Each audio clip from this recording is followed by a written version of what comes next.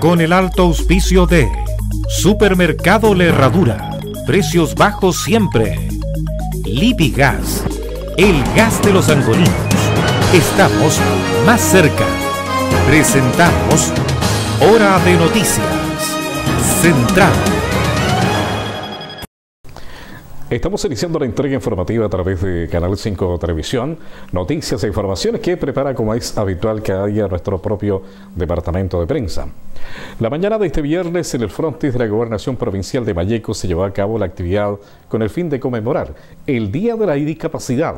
En la oportunidad también se realizaron varias actividades y se instalaron algunos stands. Yo creo que hoy día la ley de inclusión en Chile nos permite realizar este tipo de actividades donde están todas las organizaciones que trabajan con personas en situaciones diferentes. Hoy día ya no estamos usando la palabra de personas discapacitadas.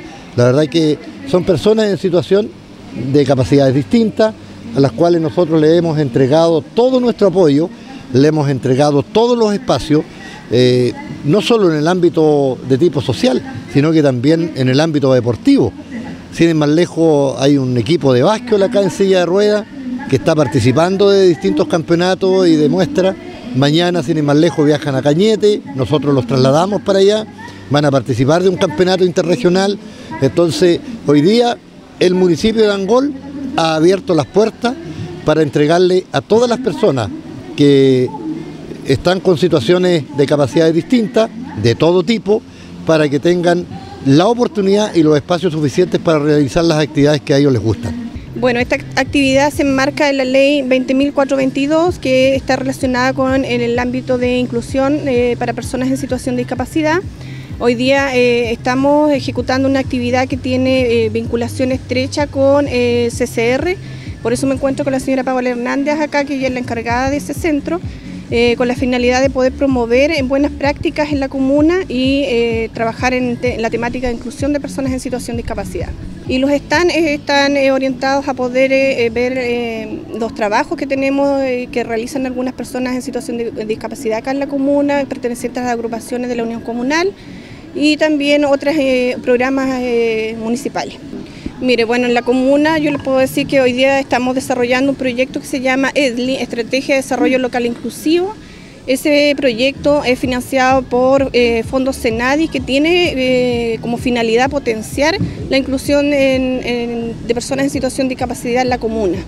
Entonces, en este minuto nosotros estamos trabajando eh, entrelazadamente con OMIL y CCR para poder eh, potenciar en la temática en la comuna y que se disminuya la brecha en realidad de, personas excluidas por la situación de discapacidad. Eh, aparte de que va a haber una ceremonia de, la celebración del marco legal de la, inclusión, se va a hacer unas actividades con la comunidad, eh, como por ejemplo Ponte en mi lugar, donde se van a invitar a los usuarios entre comillas, normal, a la diferencia de las personas en situación de discapacidad, a realizar actividades conjuntamente con ellos. Al igual se van a hacer actividades de salud, de promoción, prevención y educación, por lo cual igual tenemos están acá del área de salud y de rehabilitación y actividades eh, sensoriales y cognitivas con los mismos usuarios. ¿Van a poder interactuar personas con eh, normalidad a personas con capacidades distintas? Exactamente, la idea es que, como los dicen ellos mismos, que no sean distintos, sino que seamos todos igual, eh, sin diferencias y sin ver exclusivamente las limitaciones que tienen ellos, que es lo que más piden ellos, no excluirlo de sus limitaciones tanto funcionales cognitivas como físicas. Y destacando más informaciones, conversamos con el tesorero del Colegio de Profesores a nivel provincial, quien se refirió a las reuniones que precisamente han tenido como gremio y realizó un importante llamado a los profesores a unirse al Colegio de Profesores. En el marco de las movilizaciones me quiero referir al Consejo Estatutario Nacional que tenemos hoy día y aquí en la comuna de Angol tenemos en todos los em, colegios una, una apertura de una convocatoria para poder reunir a todos los colegas profesores que se están reuniendo hoy día a las 11 hasta la 1 de la tarde en un, en un trabajo que se va a hacer, qué es lo que queremos del colegio de profesores, no solamente los colegiados, sino que también los no colegiados. Y yo les hago un llamado a todos los colegiados, o sea, a todos los profesores, para que nos colegiemos, tengamos un, colegio potente, firme, y no como hoy día estamos en un periodo en que realmente está en una crisis financiera, ya no lo sé, pues bueno, yo como soy tesorero, entonces, en crisis financiera. Entonces resulta que ahí está la, la, la, convocatoria que este, tenemos para hoy día. en el fondo esta reunión tiene que ver con eh, el futuro del colegio de profesores, ver la posibilidad de que más profesores se puedan colegiar para que haya un gremio más fuerte. ¿Hay un cambio de estatuto no? Hay un cambio estatutario, ese es el que queremos, porque el escenario de los colegas profesores va a cambiar. Acordémonos que hoy día está cambiando a un servicio local de educación. Entonces ya las municipalidades se van a asociar y eso va a cambiar y ya tenemos los resultados que hay en Los Espejos, Barranca, en Santiago con los colegas. Así que es necesario que nos preparemos para eso también. Esto tiene que ver también con, eh, eh, en el fondo, las indemnizaciones de por medio para que no haya una segunda deuda histórica. Por supuesto, por supuesto. Usted lo ha, lo ha señalado muy bien, porque resulta que se produce deudas impagas de muchos municipios y bueno, para qué decir de otras cosas. Entonces, eh, que todavía se mantienen y que hay que solucionarlas. Y eso es una instancia hoy día de que puedan los colegas manifestar eh, cuáles son los acuerdos y cuál es la instancia que va a tener el colegio de profesores frente a, esto, a, estas disyuntivas, a estas coyunturas que hay. Y en el auditorio de la Municipalidad de Angol se realizó la ceremonia de finalización de un curso de capacitación del programa CENSE. En la oportunidad estuvo presente el CEREMI del Trabajo, Patricio Sáenz. Bueno, estamos aquí con nuestro CEREMI del Trabajo, don Patricio Sáenz. Agradecer la presencia de Patricio acá, la verdad es que ya no es primera vez que lo tengo acá en la comuna de Angol. Eh, le quiero agradecer porque al día siguiente de haber asumido su importante cargo, inmediatamente tomó contacto con nosotros por el tema de la alta tasa de cesantía que tenemos acá y una preocupación que desde el primer minuto él la ha asumido y la verdad es que nosotros tenemos algunos documentos ingresados eh, al señor intendente con copia a, nuestro Ceremi solicitándole Indudablemente los cupos de empleo que tanto necesita la comuna, eh, hoy día las posibilidades laborales es lo que más la gente valora en una situación que ya se nos viene el invierno encima. Sabemos lo que significa Pangol, esta temporada donde las frutícolas ya no trabajan, no reciben muy poca gente. Así que muy contento de tenerlo acá y, y agradecer también su preocupación que ha presentado desde el primer minuto que asumió su alto cargo regional. Sin duda alguna que la, provincia de Mayeco para nosotros es una preocupación muy profunda por lo que significa en cuanto a las tasas de desempleo. No hay que olvidarse que la última eh, tasa de desempleo que nos mostraron los, los, informes del INE fueron de dos dígitos y eso para nosotros es tremendamente preocupante. Lo que nos, cierto, nos, nos indica que debemos preocuparnos en cuerpo y alma y ocuparnos, por cierto, también de realizar actividades en concreto para ir en apoyo de lo que significa el desempleo en Angol y también en la provincia de Mayeco. Ahora bien, ¿cómo lo vamos a enfrentar este tema?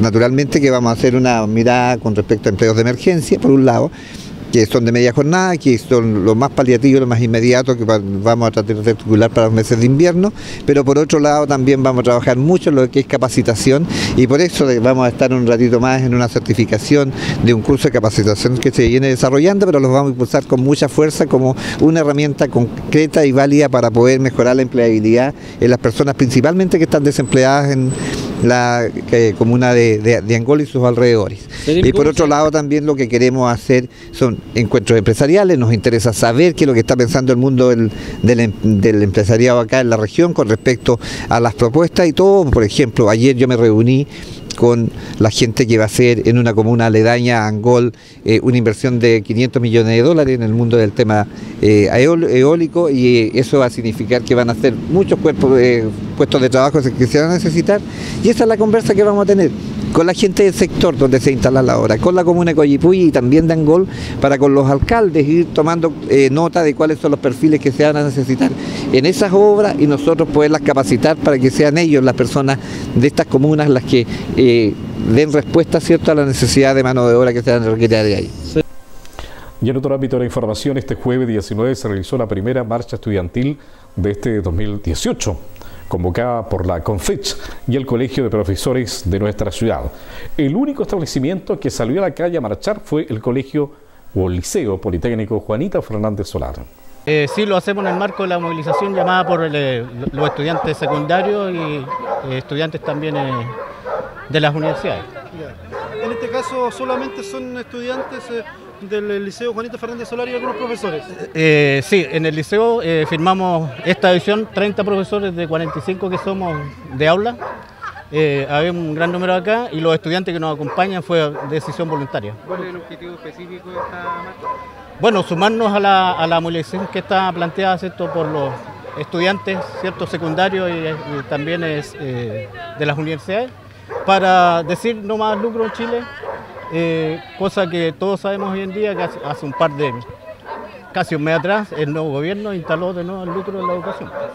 ¿Por qué tampoco estudiantes y tampoco profesores en esta marcha? Eh, no, en este momento eh, habemos pocos profesores, pero los que adhirieron voluntariamente, que algunos están en el liceo, digamos, terminando algunas cosas, somos 30 de 45 los que firmamos. ¿Y que se más establecimientos educacionales? Eh, no lo sabemos porque en realidad en ese sentido estamos derechamente incomunicados. Correcto, o sea, significa de que tomar la decisión propia ustedes sin eh, consultar con otros colegas. Eh, sí, como lo hemos hecho siempre nosotros en el Liceo Juanita Fernández desde siempre.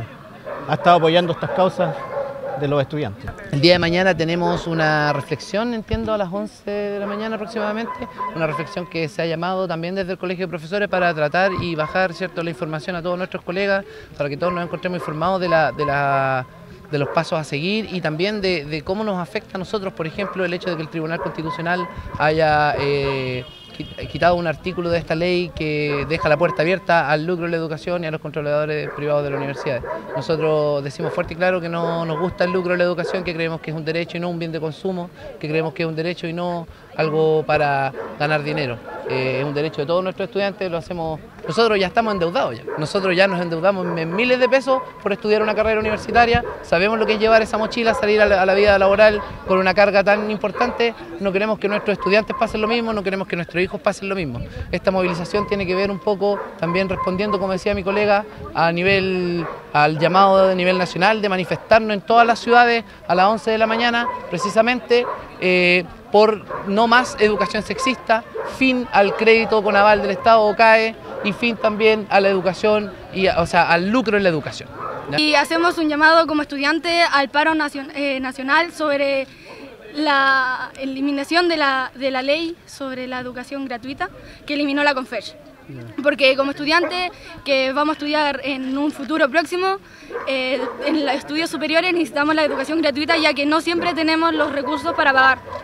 Entonces estamos en contra del fin de lucro de, una gran mayoría de universidades que apoyan eso. Ustedes quieren el fin al lucro definitivamente. Exacto. Educación gratuita. Totalmente, porque se luchó mucho tiempo para poder eh, aprobar esa ley y ahora que la CONFES la desapruebe, la elimine totalmente, esto es un desacuerdo total porque ya se aprobó esa ley. Nada que ver. Y tal como le habíamos informado en su oportunidad, el jefe de Vialidad Valleco, Gabriel Morales, se refirió a la reparación del puente Valleco, que se encuentra en muy malas condiciones. Bueno, agregó simplemente que los eh, primeros días de junio el puente debería estar ya completamente listo. Eh, eh, bueno, nosotros hemos visitado reiteradamente el sector y hemos verificado el estado del puente, lo tenemos restringido a una tonelada, el puente actual. Con respecto al puente ferroviario, que es donde queremos nosotros trabajar, eh, de colocar las, la, estructura de paso, digamos, las maderas como resistencia y rodado, nosotros debiéramos estar eh, trabajando, yo calculo que no, no antes de la segunda semana de mayo, porque hay trámites administrativos que resolver antes, eh, en la cual está involucrada la municipalidad de Angol, F y la dirección de vialidad. Y tiene que ver con los temas administrativos, las documentaciones para poder eh, vialidad utilizar sus recursos en un, técnicamente en un lugar privado. Exactamente. Nosotros no, no podemos eh, meter recursos en el, en el puente ferroviario, puesto que el puente es de Grupo F, y el Grupo F para nosotros es un ente privado, por lo tanto hay un recurso fiscal que debemos convenir antes con la municipalidad, ya que se hizo cargo del usufructo por 20 años, y eso sí que lo podemos hacer a través de un convenio. Ese es el trámite administrativo que está faltando y que en estos momentos lo está, digamos, ejecutando la Dirección Regional de Vialidad en Temuco. En pocas palabras, los trabajos se van a realizar, pero van a tener que esperar un poquito Un el tema poquitito, exactamente. Los trabajos están, nosotros también ya por, por la provincia, por la parte de la provincia, ya estamos ubicando la madera exacta para poder proceder a la compra. Y es un trámite más, mucho más rápido y debiéramos estar hacia, como digo, la segunda de ma- la semana de mayo ya estar iniciando el trabajo y, y tratar de acelerar al máximo por, por todo lo que sabemos que el puente está en un, un alto riesgo de caída. Correcto. ¿Cuántos eh, días de trabajo más o menos están eh, planificados? ¿Aproximados? Como Aprox- para que estuviera terminado y habilitado para poder pasar por ese puente. Yo, nosotros calculamos que debiera estar tres a cuatro semanas listo. O sea, a- a Al final, a- los primeros días de junio deberíamos estar transitando por el puente si Dios quiere. Haremos lo posible por hacerlo antes, hacerlo en tres semanas o dos semanas si es posible, pero es difícil porque estamos trabajando, tenemos que complementar eh, fierro, puente- pu- es un puente que tiene met- eh, vigas metálicas y sola, entonces tenemos que unirlas con madera y no es tan fácil, digamos, la, la unión de, de esos dos materiales. Llegamos al término de estas noticias, como siempre agradeciendo el favor de vuestra sintonía. Gracias por informarse con nosotros. Nos puede ver también a través de nuestro canal en YouTube, Canal 5 Ancol, a través de Canal 3, RTV Canal y Canal 8 en la comuna de Los Sauces. Gracias como siempre por informarse con nosotros. Con el alto auspicio de Supermercado La Herradura, precios bajos siempre. Lipigas, el gas de los angolinos. Estamos más cerca. Hemos presentado Hora de Noticias, Central.